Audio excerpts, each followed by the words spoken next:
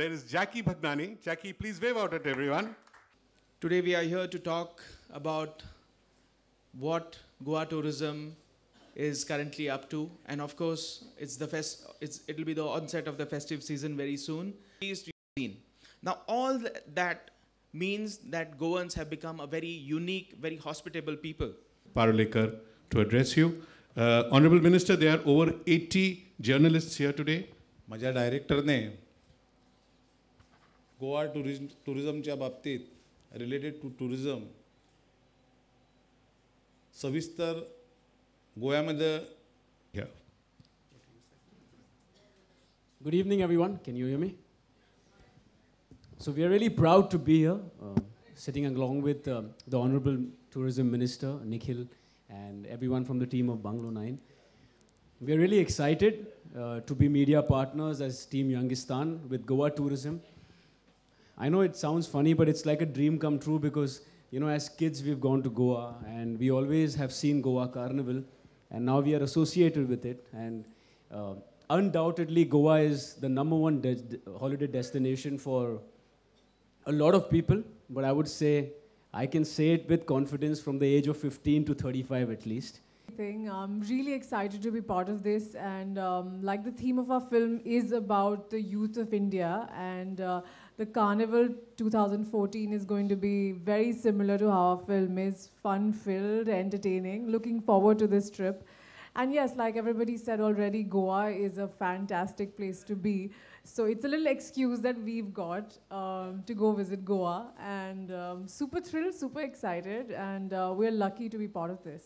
See, as Neha said, our film's called Youngistaan, and Goa is all about fun and youngsters, and the carnival is all about fun and entertainment, and all the cultures coming together and having a good time and being one. That's what Youngistaan is all about, and I play the Prime Minister in the film.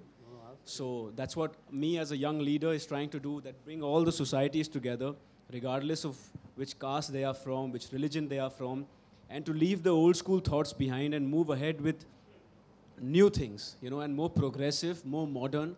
And uh, Youngistaan, we, when we say Youngistaan, it doesn't mean by age only. We mean by attitude, you know. So if someone is a 50-year-old person who's modern and progressive, that person is Youngistaan for us rather than someone who's 15-year-old and who's old school. And that's what Goa stands for. That's what the carnival stands for. It's all about attitude. It's all about what you feel.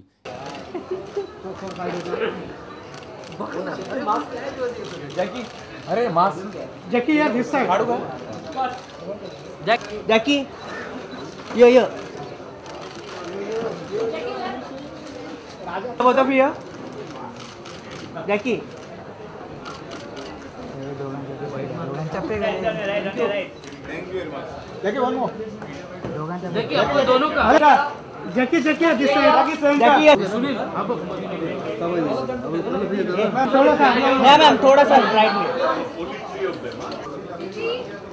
चलो जल्दी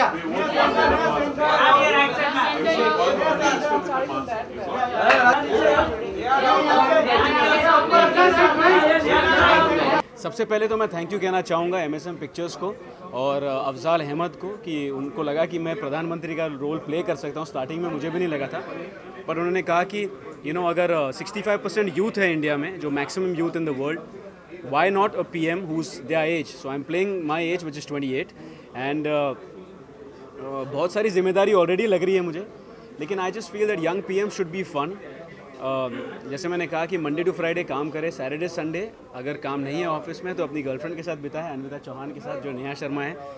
So young prime minister does everything मेरा perpetually एक ही complain होता है to my boyfriend जो prime minister बन गए हैं कि वो मुझे टाइम बहुत कम दे रहे हैं क्योंकि जब आप प्राइम मिनिस्टर होते हो आपके पास इतना काम होता है देश को संभालना होता है तो गर्लफ्रेंड के लिए टाइम ही नहीं है।